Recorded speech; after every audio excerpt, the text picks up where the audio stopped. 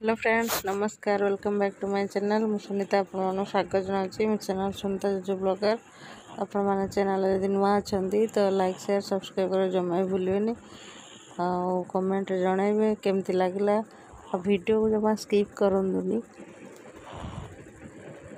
Skip କଲେ ଆପଣମାନେ ଭିଡ଼ିଓରେ କ'ଣ ଅଛି ଜାଣିପାରିବେନି। ତ ଆସନ୍ତୁ ଆମେ ସମସ୍ତେ ତ ଦୀପ ଜାଳନ୍ତି କିନ୍ତୁ ଦୀପରୁ ଆମେ ଦୀପ ବା ଧୂପ କିଛି ଲଗାଇବା ଉଚିତ ନୁହେଁ। ଏହାର କାରଣ କ'ଣ? କ'ଣ ପାଇଁ ଆମେ ଲଗାଇବା କଥା ନୁହେଁ?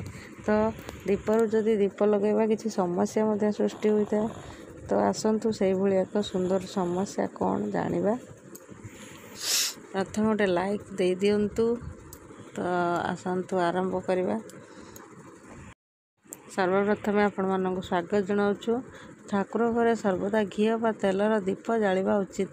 କାରଣ ଘିଅର ଦୀପ ଜଳାଇବା ଦ୍ୱାରା ବାତାବରଣ ସୁଗନ୍ଧିତ ଏବଂ ସକାରାତ୍ମକ ରହିଥାଏ। ଏହା ଘର ପରିବାର ପାଇଁ ଅତ୍ୟନ୍ତ ମଙ୍ଗଳକାରୀ ଅଟେ। ଏହି ଆମେ ଆପଣମାନଙ୍କୁ କହିବାକୁ ଯାଉଅଛୁ କି ଠାକୁର ଘରେ ଯେଉଁ ଭୁଲ କରିବା ଦ୍ୱାରା ଜୀବନରେ ଘୋର ବିପତ୍ତି ସୃଷ୍ଟି ଏବଂ ସୃଷ୍ଟି ହେବାର ସମ୍ଭାବନା ମଧ୍ୟ ରହିଥାଏ। ଆସନ୍ତୁ ସେହି ବିଷୟରେ ଜାଣିବା ତ ପ୍ରତ୍ୟେକ ହିନ୍ଦୁ ଲୋକଙ୍କ ଠାକୁର ଘରେ ପ୍ରଥମେ ଭଗବାନ ଶ୍ରୀ ଗଣେଶଙ୍କୁ ପୂଜା କରିବା ଉଚିତ।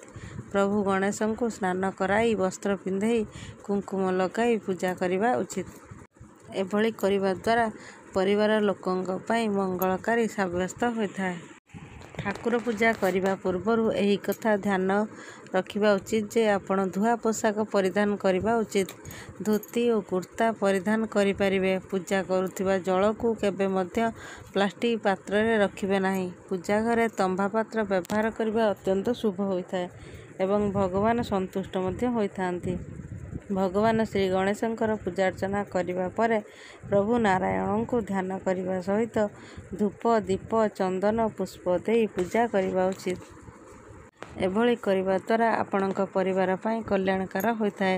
ତାପରେ ଭଗବାନ ଶିବଙ୍କୁ ଫୁଲ ଚନ୍ଦନ ଅକ୍ଷତ ଆଦି ଅର୍ପଣ କରନ୍ତୁ। ତାପରେ ସବୁ ଦେବଦେବୀଙ୍କର ମନ୍ତ୍ର ମଧ୍ୟ ଜପ କରନ୍ତୁ। ତମ୍ବା କିମ୍ବା ପିତ୍ତଳ ବାସନ ପୂଜାରେ ବ୍ୟବହାର କରିବା ଅତ୍ୟନ୍ତ ଶୁଭ ହୋଇଥାଏ। ପୂଜା କରିବା ସମୟରେ ସର୍ବଦା ପୂର୍ବ କିମ୍ବା ଉତ୍ତର ଦିଗକୁ ମୁହଁ କରି ପୂଜା କାର୍ଯ୍ୟ ସମାପନ କରିବା ଉଚିତ। ଏଭଳି କରିବା ଅତ୍ୟନ୍ତ ଶୁଭ ହୋଇଥାଏ।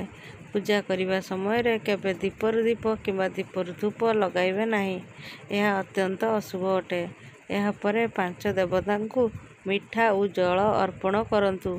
ପଞ୍ଚଦେବତାଙ୍କୁ ପୂଜା କରିବା ଦ୍ୱାରା ଆପଣଙ୍କ ପରିବାରରେ କେବେ ବି ଅନିଷ୍ଟ ହୋଇନଥାଏ ତେବେ ଶେଷରେ ପଞ୍ଚଦେବତାଙ୍କୁ ପୁଷ୍ପାଞ୍ଜଳି ଅର୍ପଣ କରି ପୂଜାରେ ତ୍ରୁଟି ପାଇଁ କ୍ଷମା ପ୍ରାର୍ଥନା କରିବା ଉଚିତ। ଆପଣଙ୍କୁ ଏହି କଥାର ଧ୍ୟାନ ରଖିବା ଉଚିତ ଯେ ସୂର୍ଯ୍ୟଙ୍କୁ କେବେ ବି ଶଙ୍ଖ ମାଧ୍ୟମରେ ଜଳ ଅର୍ପଣ କରନ୍ତୁ ନାହିଁ। ପୂଜା ସମୟରେ ପାଣିରେ ଫୁଲ ରଖନ୍ତୁ ନାହିଁ କିମ୍ବା ଖଣ୍ଡିତ ପୁଷ୍ପ ପୂଜାରେ ବ୍ୟବହାର କରନ୍ତୁ ନାହିଁ। ସବୁବେଳେ ମନେ ରଖନ୍ତୁ ପୂଜା ସମୟରେ ଲାଲ ରଙ୍ଗର ଆସନରେ ବସିବା ଉଚିତ। ଠାକୁର ପୂଜା କରିବା ସମୟରେ ଏଭଳି କିଛି ନିୟମ ଗୁଡ଼ିକୁ ପାଳନ କଲେ ଅତ୍ୟନ୍ତ ଶୁଭ ହୋଇଥାଏ। ତେବେ ବନ୍ଧୁଗଣ ଆପଣମାନଙ୍କୁ ଏହି ବିଶେଷ ବିବରଣୀଟି କିପରି ଲାଗିଲା ଆପଣ ନିଶ୍ଚୟ ମତାମତ କମେଣ୍ଟରେ ଜଣାଇବେ। ଏହା ନିଶ୍ଚିତ ଭାବେ ଆପଣଙ୍କ ପାଇଁ ମଙ୍ଗଳମୟ ହେବ। ରହୁଛି। ନମସ୍କାର ଜୟ ଜଗନ୍ନାଥ। ପୁଣି ଦେଖା ମୋର ଏକ ଆଗାମୀ ସୁନ୍ଦର ଟିପ୍ସ ଭିଡ଼ିଓ ନେଇକି ମୁଁ ଆପଣମାନଙ୍କ ପାଇଁ ଆସିବି।